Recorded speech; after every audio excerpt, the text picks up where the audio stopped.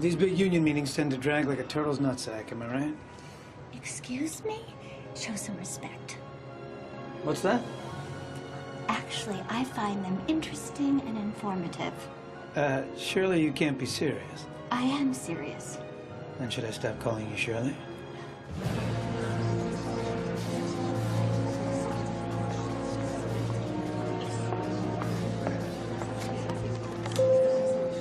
Ladies and gentlemen, and members of the Fraternal Association of Federated Airline Flight Attendants, welcome.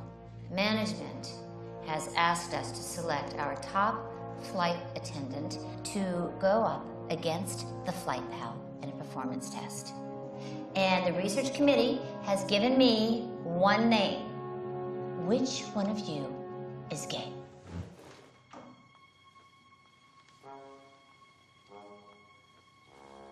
Larry, gay. That'd be me.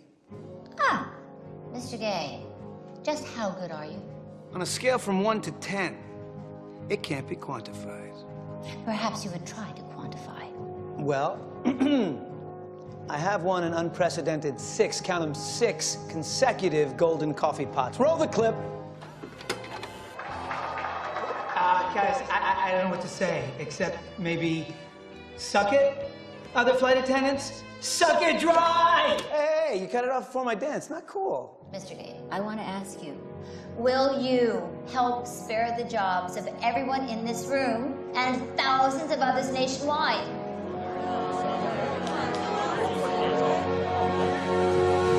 Seems like a hassle. Pass. I'm gonna pass.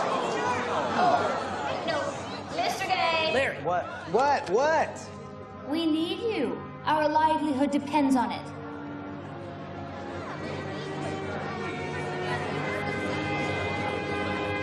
Fine, I'll do it. I'll do it. Ladies and gentlemen of the Fa Fa Fa, worry not. I will take on this scourge, and I will win. Nothing on God's green earth will stop me. Thank you, Mr. Gaye. Thank you. As long as it's not on a Tuesday morning, I have a Zumba class.